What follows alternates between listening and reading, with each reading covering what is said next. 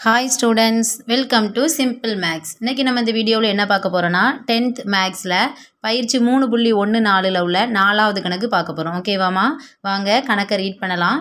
கணக்கில் என்ன கொடுத்துருக்காங்கன்னு பாருங்கள் ஆல்ஃபா கமா பீட்டா என்பன ஒரு இருபடி சமன்பாடு கொடுத்து இதனுடைய மூலங்கள் அப்படின்னு கொடுத்துருக்காங்க. மற்றும் beta minus alpha equal to minus பதிமூணு பை ஏழுன்னு கொடுத்துருக்காங்க. எனில் ஏயின் மதிப்பு காண்கன்னு கேட்டிருக்காங்க. ஓகேவாம்மா நம்ம ஃபஸ்ட்டு என்ன பண்ண போகிறோம் அப்படின்னா நமக்கு ஒரு இருபடி சமன்பாடு கொடுத்துருக்காங்க.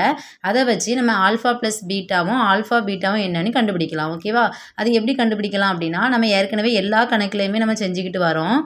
இதை வந்து நம்ம A X square plus B X plus சிங்கிற formula அந்த இருபடி சமன்பாட்டோட ஒப்பிட்டோம்னா இதுல இருந்து நம்ம ஏ ஈக்குவாலிட்டி என்னன்னு கண்டுபிடிச்சிடலாம். எக்ஸ் ஸ்கொயரினுடைய கெழு வந்து நமக்கு என்னது? ஏழு. அப்போ அதுதான் நமக்கு ஏ ஓகேவாம்மா அடுத்தால பிங்கிறது என்ன அப்படின்னா எக்ஸின் கெழு அது வந்து நமக்கு ஏ அடுத்தால சிங்கிறது என்ன அப்படின்னா ரெண்டு. ஓகேவா? இப்போ நம்ம ஆல்ஃபா ப்ளஸ் பீட்டா நம்ம கண்டுபிடிக்கலாம். ஈக்குவல் டு அதுக்கு ஃபார்முலா என்னென்னா minus B by A equal to minus B இருக்கிற இடத்துல என்ன இருக்குது ஏ இருக்குது. பை ஏ இருக்கிற இடத்துல என்ன இருக்குது? ஏழுன்னு இருக்குது. ஓகேவாம்மா? அப்போ ஆல்ஃபா ப்ளஸ் பீட்டா அப்படிங்கிறது நமக்கு என்னன்னு இருக்குது?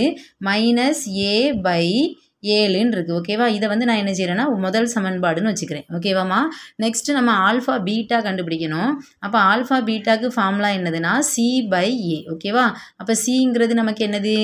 ரெண்டு. பை ஏங்கிறது என்னது? ஏழு.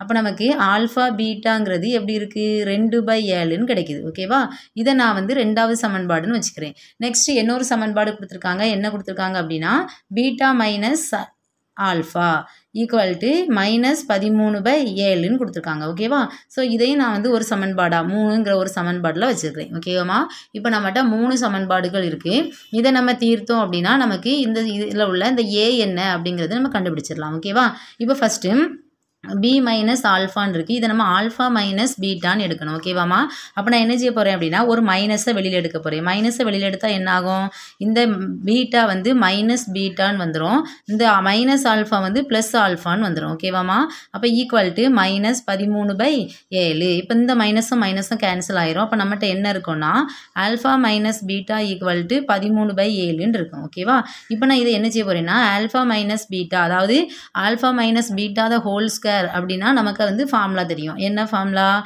ஆல்ஃபா இதில் எழுதிக்குவோம். Alpha plus beta the whole square minus நான்கு alpha beta alpha minus beta அப்படின்னா இதில் வந்து ரூட் வரும். ஓகேவாம்மா root of alpha plus beta the whole square minus four alpha beta. இந்த இந்த பாடங்களில் வர்ற அதாவது இந்த மூலங்கள் கணக்கில் வர்ற ஃபார்ம்லா எல்லாமே நான் ஒரு எடுத்துக்காட்டில் உங்களுக்கு காமிச்சிருக்கிறேன். ஓகேவா ஸோ உங்களுக்கு அந்த எடுத்துக்காட்டு வேணும் அப்படின்னா கீழே உள்ள டிஸ்கிரிப்ஷன் பாக்ஸில் லிங்க் இருக்குதோ நீங்கள் அதை டச் பண்ணி பார்த்துக்கலாம் அதில் வந்து இருக்கிற ஃபார்ம்லா எல்லாத்தையும் நீங்கள் ஃபஸ்ட்டு வந்து நோட்டில் காப்பி பண்ணிவிட்டு அதை நல்லா தரவாக படிச்சுக்கிட்டீங்கன்னா தான் இந்த இதில் உள்ள இந்த சாப்டரில் உள்ள இந்த கணக்குகள்லாம் அப்ளை பண்ண முடியும். ஓகேவாம்மா இப்போ நம்ம கண்டுபிடிக்கலாம். என்ன கொடுத்துருக்காங்க? ஆல்ஃபா ப்ளஸ் பீட்டா ஆல்ஃபா பீட்டான்னு இருக்குது. இதில் நம்ம வேல்யூ அப்ளை பண்ணலாம். இங்கே ஆல்ஃபா மைனஸ் பீட்டாக்கு பதிலாக நம்ம என்ன பண்ண போகிறோம்னா பண்ணியிருக்கோம்னா அந்த ஃபார்முலாவை எழுதியிருக்கோம்.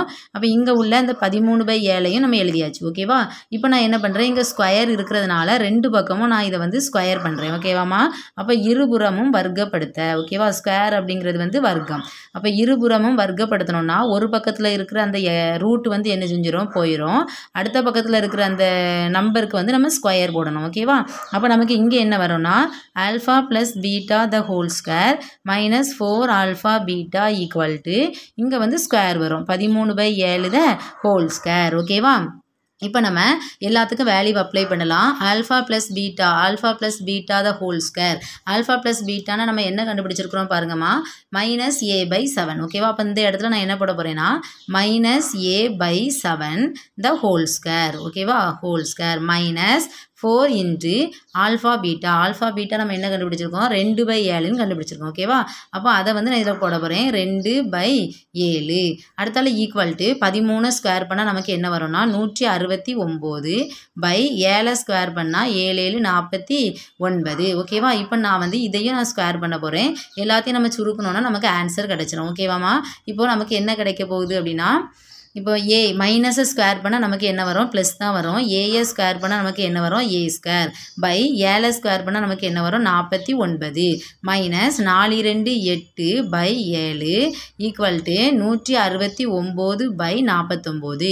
இப்போ இந்த ரெண்டுக்கும் நான் மீச்சிமை வந்து நாற்பத்தொம்போது எடுக்க போகிறேன் ஓகேவாம்மா இப்போ வந்து நான் அதுக்கு மீச்சிமை வந்து நாற்பத்தொம்போது எடுக்க போகிறேன் அப்போ நாற்பத்தொம்போது நம்ம கீழே போட்டுக்கலாம். மேலே என்ன வரும் அப்படின்னா ஏற்கனவே ஏ ஸ்கொயர் பை நாற்பத்தொம்போதுன்னு இருந்தது. ஓகேவாம்மா முதல்ல நான் அந்த லைனை ஃபஸ்ட்டு வேணால் எழுதிக்கவா? அப்போ என்ன வரும்? ஏ ஸ்கொயர் பை நாற்பத்தி ஒம்பது. அடுத்தால மைனஸ் எட்டு பை ஏழு ஈக்குவல் டு நூற்றி அறுபத்தி ஒம்பது பை நாற்பத்தொம்போதுன்னு இருந்து ஓகேவா இப்போ நான் இந்த ரெண்டுக்கும் மீச்சிமை வந்து நாற்பத்தொம்போது எடுக்க போகிறேன் எடுத்தேன்னா இங்கே நாற்பத்தொம்போது இருக்குது ஸோ நம்ம ஏ ஸ்கொயர்னு எழுதிடலாம். இங்கே ஏழு இருக்குது அப்போ இந்த ஏழுங்கிற நம்பர் கூட நம்ம எதை பெருக்குனா வரும்? ஏழை பெருக்குனா ஏழு ஏழு நாற்பத்தொம்போது. அப்போ அதே ஏழை மேலே கொண்டு பெருக்கணும். எட்டு ஏழு ஐம்பத்தி ஆறு. அப்போ மைனஸ் ஐம்பத்தி ஆறு ஈக்குவல் டு நூற்றி அறுபத்தி ஒன்பது பை நாற்பத்தி ஒன்பது. இப்போ நம்ம என்ன செய்ய போகிறோம் அப்படின்னா இந்த கீழே உள்ள நாற்பத்தொம்போது நாற்பத்தொம்போது நம்ம கேன்சல் பண்ணிடலாம் ஓகேவா அப்போ நமக்கு மேலே என்ன கிடைக்குது? ஏ ஸ்கொயர் மைனஸ் ஐம்பத்தி ஆறு ஈக்குவல் டு நூற்றி அறுபத்தி ஒன்பது. இப்போ இந்த ஐம்பத்தி ஆறை நம்ம இங்கே கொண்டு கூட்டிடலாம் அப்போ ஏ ஸ்கொயர் ஈக்குவல் டு நமக்கு என்ன கிடைக்கும்னா நூற்றி அறுபத்தி ஒம்பது ப்ளஸ் ஐம்பத்தி ஆறு. நூற்றி அறுபத்தி ஒன்பது கூட ஐம்பத்தி ஆறை கூட்டினா நமக்கு என்ன கிடைக்கும்? இரநூற்றி இருபத்தி ஐந்துன்னு கிடைக்கும் ஓகேவா ஏ ஸ்கொயர் ஈக்குவல் டு இரநூற்றி இருபத்தைந்து அப்போ நம்ம இதை எப்படி எழுதலாம்? இதை வந்து ப்ளஸ் ஆர் மைனஸ்னு ஆயிரும் ஓகேவா A square equal to plus R minus பதினஞ்சுக்கு பதினஞ்சு நமக்கு என்னது? இரநூத்தி இருபத்தஞ்சு. அப்போ தான் ஹோல் ஸ்கொயர் இது ப்ளஸில் இருந்தாலும் நமக்கு ப்ளஸில் தான் வரும். மைனஸில் இருந்தாலும் ஸ்கொயர் பண்ணும்போது நமக்கு என்னது வரும்?